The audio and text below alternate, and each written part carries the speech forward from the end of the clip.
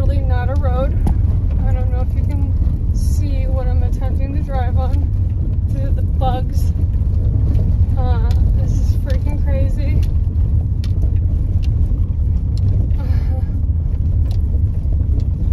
Um, so yeah. I'm trying to find the, the tri-point marker of Colorado, Wyoming, and Nebraska. It is supposedly here somewhere. I'm very close. I saw the point on a map, but I have very little to no GPS. So um, I'm literally just looking at dots on the map, and I went so far, and my car could not go any further. It looks like it's only meant for farm equipment back there.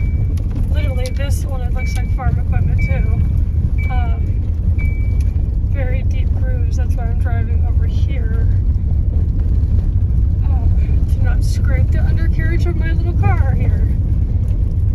Look at this beautiful sky though. So I'm going back on this long road to get back to the main quote unquote road to see if I can find an easier pathway to it.